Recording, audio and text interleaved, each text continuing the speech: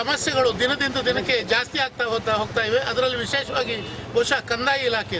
ಈಗ ಕಳೆದ ಒಂದು ವರ್ಷಗಳಿಂದ ಬಹಳಷ್ಟು ಹಿಂಸೆ ಅಂತ ಹೇಳಿದರೆ ಸಾಮಾನ್ಯ ಜನರಿಗೆ ಅವ್ರ ಜಾಗವನ್ನು ಮಾರ್ಲಿಕ್ಕಾಗೋದಿಲ್ಲ ತಗೊಳ್ಲಿಕ್ಕಾಗೋದಿಲ್ಲ ಭೂಪರಿವರ್ತನೆ ಮಾಡ್ಲಿಕ್ಕಾಗುದಿಲ್ಲ ಶ್ರೀಮಂತರು ಹೇಗಾದ್ರೂ ಮಾಡ್ಕೊಂಡು ಹೋಗ್ತಾರೆ. ಇವತ್ತು ಬಹುಶಃ ಕೆಲವರು ಹೇಳ್ತಾರೆ ಲೇಔಟ್ ಇದ್ದವರಿಗೆ ದೊಡ್ಡ ದೊಡ್ಡ ಶ್ರೀಮಂತರಿಗೆ ಅಂತ ಹೇಳಿ ಹೇಳ್ತಾ ಇದ್ದಾರೆ.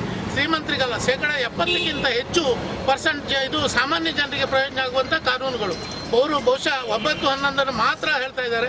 ನಾವು ಒಂಬತ್ತು ಹನ್ನೊಂದರ ಬಗ್ಗೆ ಮಾತ್ರ ಹೇಳ್ತಾ ಇಲ್ಲ. ಇವತ್ತು ಅನೇಕ ಪಟ್ಟಿ ಮಾಡಿದ್ದೇವೆ ನಾವು ಬಹುಶಃ. ನಿಮಗೆಲ್ಲ ನಾವು ಒಂದೊಂದು ಪಟ್ಟಿಯನ್ನು ಕೊಟ್ಟಿದ್ದೇವೆ.